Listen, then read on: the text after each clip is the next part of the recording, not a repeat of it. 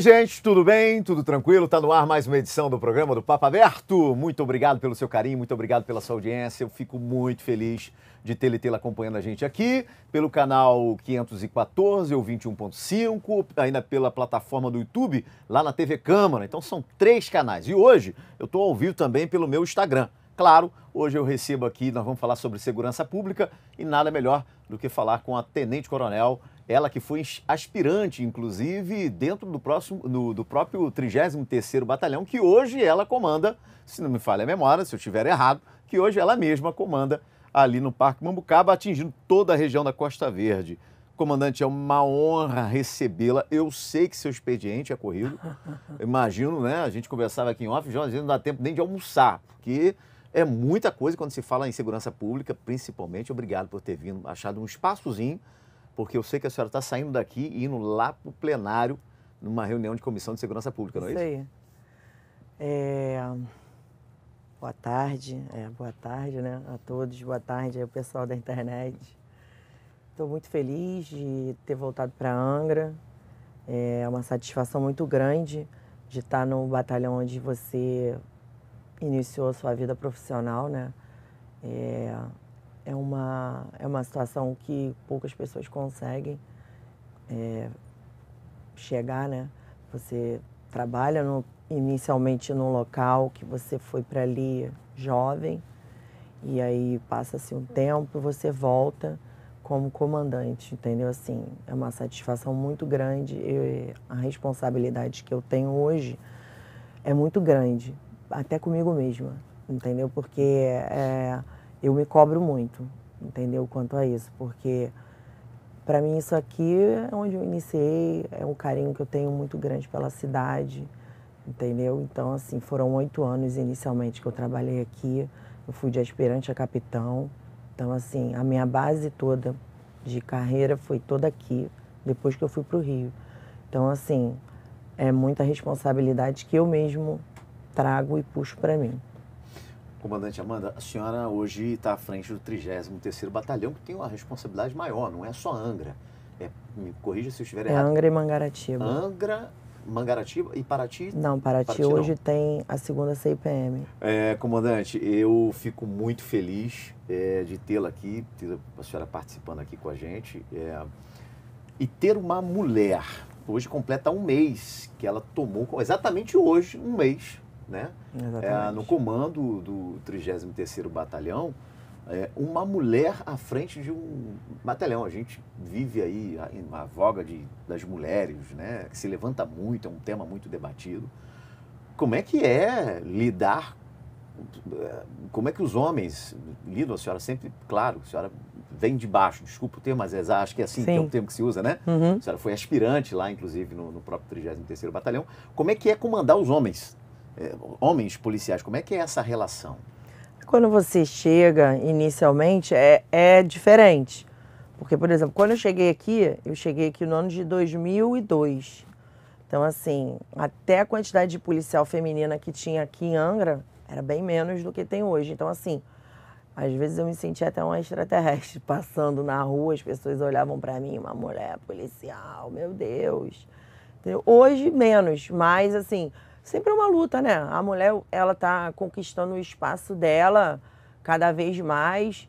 É, existe ainda bastante preconceito em diversas áreas. Isso é a realidade, a gente sabe disso. Tem, tem, tem, tem profissão aí que a mulher ganha menos até que o homem. Na Polícia Militar não existe isso. Entendeu? E assim, você vai conquistando seu espaço com trabalho, com dedicação. Entendeu? Assim, eu tenho muito problema em lidar com os homens, não. Estou bem acostumada, entendeu? Tenho a minha forma de tratar o, a minha, o meu público interno é bem particular, então assim tenho bastante é, receptividade, entendeu? Então não tenho muito problema não. Eu, eu sou uma pessoa bem justa com, com os meus comandados, entendeu? Porque eu acho que você tem que ser justo, né? Você não precisa apertar nem soltar muito. Você tem que ser um meio termo. A senhora, eu não quero entrar na seara pessoal, mas eu, eu tenho que perguntar, a senhora é casada, filhos? Tenho, sou casada, tenho dois filhos. Tem dois filhos. E consegue dar conta nessa correria toda? A gente tenta, né? Vai é, monitorando todo mundo à distância, faz dever. Faz dever? É, olha isso, olha aquilo, faz a comida, tira o, tira o telefone porque tá de castigo. O papel de mãe Entendeu? permanece. Normal, nada mudou. E vai pra feira, tem que mandar fazer feira. É, ah, roupa, passa, isso, nada mudou. É, são quantos turnos? Sei lá, são três turnos, nunca três para. turnos, meu Nunca. E para. depois dizem que as mulheres não, Nunca para. não, não, não, não- não- não são hiper inteligentes. Como não? Você, você tem que lidar com o esposo né? e das Isso crianças. aí. Então tem que cuidar de todo mundo. Cuidar dos policiais, cuidar da minha família, cuidar dos meus, do- da- dos meus familiares, dos meus pais, dos meus amigos também, que cobram, né? Não tem jeito. A sua presença, né? Com certeza. E aí você vai, você liga, não tenho como, não consigo. Até meus amigos aqui, vem pra cá, dorme aqui, eu não dá, muito tempo de deslocamento. E aí fica tarde, depois eu tenho que voltar, eu fico cansada. Não é mole, não. Comandante, a senhora está há um mês, batendo hoje exatamente um mês que a senhora assumiu o comando do 33º Batalhão. É, o que, que você tira disso de forma sin- é, bem sintética? O que, que você tira é, como lição nessa, na sua gestão, é, implantando a sua gestão, o seu jeito de comandar né, em relação à segurança pública da nossa região? Como é que a senhora avalia? O que, que a senhora pretende implantar para melhorar, para buscar melhorias, etc. E tal? É, assim, nós pegamos um batalhão bem melhor do que um tempo atrás, né? Porque a cidade um- teve, uns problemas bem graves de segurança. E, assim, hoje tá um- tem um controle relativo, né? Da, da parte de segurança. Nós temos bons números, entendeu? A nossa missão é manter esses números cada vez menores e, e, e incutir a sensação de segurança Em número É. menor, a senhora fala de criminalidade. de criminalidade, exatamente. Os números, eles são bons em todo o estado do Rio de Janeiro. Os números são, são é, série histórica são menores, é, mas hoje o que avoga né, da, da nova gestão, principalmente, é a sensação de segurança. Então, assim, a gente tem que prover a sensação de segurança. Não adianta eu estar com uma... no- Ah, tenho números bons, estou baixando os índices, mas a população não se sente segura. É, é importante essa sensação de segurança. Por falar em sensação, eu estou trêmulo aqui, não sei porquê. Estou acostumado a entrevistar mais de 30 anos na minha vida. Hein, Oswaldo? Deu uma tremedeira, tá? Um espírito assim de tremedeira do nada perto dessa mulher aqui. Mas, enfim. É, a comandante, a- gente, ela é a comandante do 33º Batalhão, Tenente Coronel, batendo um papo aqui com a gente. Nesse um mês que ela completa à frente do batalhão, uma responsabilidade tremenda. Quanto efetivo a gente tem hoje, comandante, na- aqui na nossa região? Que eu, eu lembro que os- as nossas autoridades políticas brigavam muito, né? Desde a época do governador, é, o- o governador Garotinho, a briga e até a Rosinha, briga por mais efetivos aqui Sim. né? A senhora viveu isso, né? A briga por efetivo, efetivo. O efetivo atende a, a nossa demanda? Hoje nós temos aqui, tem o batalhão, né, que ele é composto também por três UPPs, né? Temos a UPP no Frade, o PP no Camorim e o PP no Belém. Então, hoje eu tenho mais de 600 policiais atuando na, na segurança em Angra dos Reis, entendeu? Então, assim, é, sempre é bom a gente aumentar né, a sensação de segurança, aumentar o policiamento, mas, assim, a Polícia Militar está sempre envidando esforços quanto a isso. Tem uma turma para se formar agora, estão sendo feitos é, alguns estudos né, por parte de, de pessoal, vão, provavelmente vão haver alguns remanejamentos, entendeu? Então, assim, é, o empenho está sendo grande, entendeu? Quanto a isso. Inclusive também com a parte logística, né? Nós estamos é, agilizando bastante é, consertos de algumas viaturas que têm algumas pendências de, de manutenção para poder estar sempre aumentando né, essa disponibilidade do policiamento na rua. E é, os policiais também que têm alguns afastamentos, às vezes afastamentos médicos, né, que você chama, conversa, tenta é, puxar aquele policial para você, né? Ah, volta, vamos, a gente conversa, não sei o quê. aí coloca um interno e bota um que tem ah, que está apto de saúde para trabalhar na rua, tira do expediente bota na rua e assim a gente vai caminhando. Há pouco, alguns anos atrás, a gente teve aí a compra de aquisições de, de, de, de veículos por parte da prefeitura para colaborar até com a segurança pública. Sim, a prefeitura de Angra aqui, ela tem uma parceria muito boa com a Polícia Militar, entendeu? Agradeço imensamente, entendeu? É, com a, o, o PROEIS, né? Que é um que é uma é um, é um serviço extra, né? Da, pela pela coordenadoria do Rio de Janeiro lá, que é tudo legalizado, tudo certinho. Então, assim, é um convênio maravilhoso. A prefeitura ajuda com, com viaturas, com local, entendeu? Dá, dá todos os meios que, que a gente necessita. Então, assim, a, a Prefeitura de Angra é muito parceira da Polícia Militar, muito mesmo. Comandante, a Polícia de São Paulo aderiu à questão da câmera. Queria perguntar isso para a senhora. A Polícia do Rio ainda não aderiu esse, esse sistema, né? Não, tem. Tem, tem mas, Não é, mas não é geral, não, não todos os policiais. Praticamente, acho que em todos os batalhões já estão com já câmera. Estão, aqui a senhora a, a, é, é, favorável esse uso do... do, do... Então, isso é, isso é, uma, é uma discussão que tem as suas vertentes, entendeu? Mas, assim, hoje, é, a, o ordenamento prevê isso, são ordens que vêm de escalões superiores, entendeu? E nós devemos cumprir. Não são ordens absurdas, são ordens é, legais. Então, assim, é, a Câmara está ali para beneficiar, entendeu? O policial, beneficiar a, o cidadão, entendeu? Porque muitas das vezes ah, acontece alguma situação ali que você não tem como comprovar, porque só tem você e a outra pessoa, então ser a sua palavra contra a dela, a Câmara está ali para te dirimir essa dúvida. Entendeu? Então, assim, hoje é um é, uma, é um mecanismo é, de inovação que é um caminho que eu acredito que daqui para frente só vai aumentar. Parece que já tem uma projeção para câmeras também novamente nas viaturas, além da câmera corporal, né? Entendeu? E e é isso aí. Os americanos sempre usaram, né? É, eu acho que lá fora já há bastante tempo que se usa. se usa. É, porque tem aquelas, até aqueles, pro, aqueles programas, né? Que, voltados, inclusive, é, para a própria voltados, câmera Exatamente. Que são programas direcionados a ocorrências policiais, né? Que são filmadas, assim, ao vivo, né? Comandante, gente, a comandante Amanda está aqui com a gente, ela é do 33º Batalhão. Eu estou correndo com o programa porque ela está indo para para exatamente para o plenário lá com a Comissão de Segurança Pública. Comandante, é, a questão da UPP, né? O PP ela vem de um certo modo, né, a grosso modo, inibir ações da criminalidade e tal.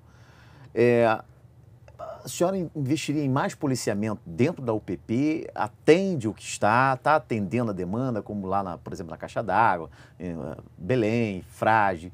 Está atendendo? Pelo menos eu tive a oportunidade de conversar com alguns moradores do, do Frade estão extremamente satisfeitos. Inclusive fizeram uma faixa, um cartaz agradecendo ao policiamento por parte da Polícia Militar. Como é que a senhora vê a questão da UPP?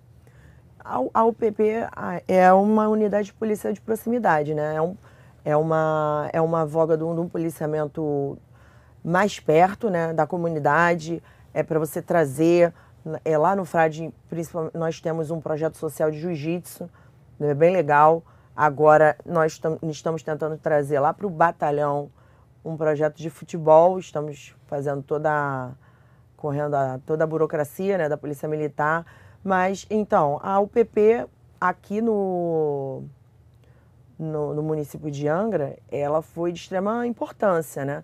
Para conter os índices de criminalidade, para você dar segurança e paz a, a, a população desse, dessas localidades, entendeu? Então, assim, hoje eu, é, temos uma, uma, receptividade muito boa com a população né, da, dos locais onde tem as UPPs, e, entendeu? E, e é, implantação de UPP, isso são, são estudos que são feitos, né, principalmente pela parte operacional da Polícia Militar, e depende dessas, dessas instruções, dessas desses estudos para você poder, ah, vamos aumentar a quantidade de UPP, vamos botar em outros locais, entendeu? É um estudo de impacto que é feito? É, são estudos de, de impacto, de, de efetivo, de criminalidade da localização, entendeu? Então, de, de, são N, N fatores, entendeu? Não é simplesmente, ah, vamos botar ali na, no, no morro A, Do na nada, comunidade assim, X, entendeu? Não. Tem todo um estudo, principalmente baseado na criminalidade que está acontecendo naquele local. Comandante, essa questão, a gente viu a reforma da delegacia. Eu quero, é claro que esse, óbvio que não, não cabe essa pergunta à senhora, mas é, não era hora ali do 33º Batalhão é, ter os edifícios, fazer uma construção melhor, reformular aquilo ali para atender o alojamento, principalmente dos policiais nesse sentido? É, isso aí é uma, uma coisa que está em, tá em estudo, entendeu? A possível uma, uma melhora, entendeu? Da parte estrutural. Mas a gente está tá vendo isso aí Vai direitinho, é, vamos ver. É, ah, você aventou a possibilidade de tirar o 33º Batalhão e trazer para Japuíba. Isso é papo ou não, não vai acontecer? Olha, por enquanto ainda não tem nada, não tem nada formalizado não. que chegou, eu lembro que chegou até o pessoal, alguns moradores do Parque Mambucaba, ensaiar uma baixa. Não, não tem que tirar daqui, porque pô, a gente vive uma paz, vive uma tranquilidade, que é de fato que o morador quer ver a polícia militar na rua, se sentir segura, segura Sim. né, em relação. Ah, mas de qualquer questão. forma, se um dia acontecer da, da polícia sair dali, a sede do batalhão, óbvio que a polícia militar não vai deixar aquele local ali desguarnecido de forma alguma, entendeu? Isso aí eu tenho certeza absoluta. Não sou eu que não, não que seja comigo ou que seja com outro, mas a polícia militar nunca vai deixar, entendeu? A Mambucaba ali, o Perequê, a Vila Histórica desguarnecido. Pode ter certeza disso, tenho certeza. Até porque pela distância teria É, que ter com ali um certeza, não tem como, entendeu? Como é que, para a gente poder fechar, eu, eu liberar a senhora até para ir lá para a reunião, é, os vereadores devem estar lá aguardando a, a comandante, é, como é que a senhora definiria a sua gestão? A gestão da comandante Amanda à frente do 33º Batalhão. A minha gestão é participativa, né? Eu, te- eu trouxe um- algumas pessoas para compor equipe. É, somos uma equipe participativa, justa, entendeu? Tranquila. É, nós queremos que nós queremos o melhor tanto para o policial, tanto para a sociedade. E assim estamos trabalhando para isso, melhorias internas, ajustes de algumas coisas que são necessárias, é, prover a melhor segurança possível para o público, né, em geral. E proteção de Deus também, né? A gente precisa de uma proteção, né? né? Porque não é mole, não. Comandante, eu quero agradecer a senhora estar aqui com a gente. Obrigado pela disponibilidade do seu tempo. Imagina. Sei que a senhora é muito corrida. Eu, eu, se eu pudesse, eu atendia todo mundo que me solicita, mas, Mas- fica muito difícil. Ainda mais no primeiro uma mês. correria Que completa absurda. hoje, um Exatamente. mês à frente lá, né? É, um mês, isso aí. Muito feliz. Bom, que recado a senhora daria para a população que está em casa te assistindo? Conte com a Polícia Militar, contem com o 33º Batalhão, é, 190, Patrulha Maria da Penha também, aqui nós temos muito problema com parte de violência contra a mulher, entendeu? Estamos aí atuando, contem conosco o tempo todo. Eu quero deixar um telefone aqui da patrulha. Deixa eu, deixa eu ver aqui o nome do telefone da Patrulha Maria da Penha, aqui do 33. É o, é o telefone. Pode mandar o WhatsApp, é 24 99 221 3173. 24 99 221 3173. Esse telefone é do nosso pessoal da Patrulha Maria da Penha. É um, é um, é um programa muito legal, muito, muito necessário. Tem muito índice de, de violência contra a mulher? Tem bastante, não só aqui, como em todo o estado. Então, assim, temos que combater esse tipo de, de crime que é um absurdo. Entendeu? Temos que proteger nossas mulheres, nossas crianças, entendeu? Nossos idosos. Entendeu? Então, assim, contem com a Polícia Militar. Tá bom, gente? É isso. A senhora, quando foi policial, eh, desculpa, quando foi soldado, né? Soldada, Aspirante. aspirante, Isso. a senhora já pegou casos assim? Todo dia tem, Tem, né? violência doméstica, não só aqui, mas no estado inteiro. É muito triste, é um índice muito alarmante. Lamentável. Gente, conversei com o comandante Amanda, que é tenente-coronel do 33º Batalhão aqui da Polícia Militar. Eu fico muito feliz. Comandante, muito obrigado. A senhora sai daqui e já vai responder ali Já um... vou lá para a Câmara. Há muitas perguntas lá dos moradores lá no plenário da Câmara. Obrigado, senhora. Está disponível, tá? Imagina. Obrigado mesmo, de Conta aí coração. com, com- comigo. Desculpe lhe perdu- perturbar, a produção Imagina. perturbar a senhora. Não. comandante, vem no programa, vem no programa. Com certeza. Papo Aberto fica por aqui, a gente volta numa próxima edição. Um beijo no seu coração e até a próxima edição, se Deus assim nos permitir. Até lá, tchau.